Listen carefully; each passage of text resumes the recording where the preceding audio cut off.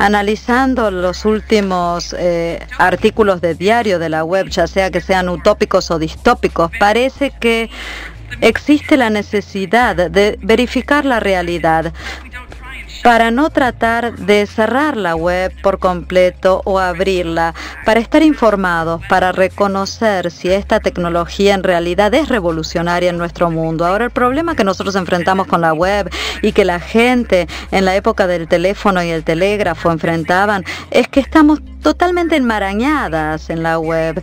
Estamos experimentando ahora la web, siguiendo su evolución. El árbol no nos deja ver el bosque, para usar una metáfora que se usa para Internet. Tenemos tanto miedo de lo que nos va a hacer la web, literalmente de lo que nos va a hacer y lo que le va a hacer a nuestras instituciones, que nos olvidamos que realmente tenemos el poder de delinear la tecnología y las interacciones sociales nosotros mismos.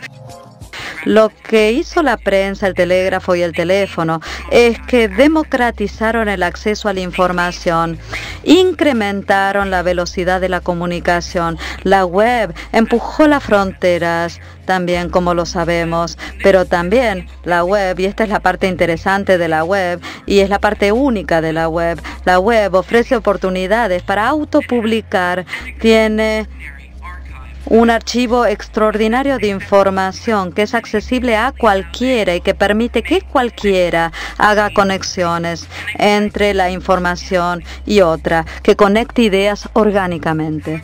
Sin embargo, todas estas ideas no son suficientes para cambiar el mundo.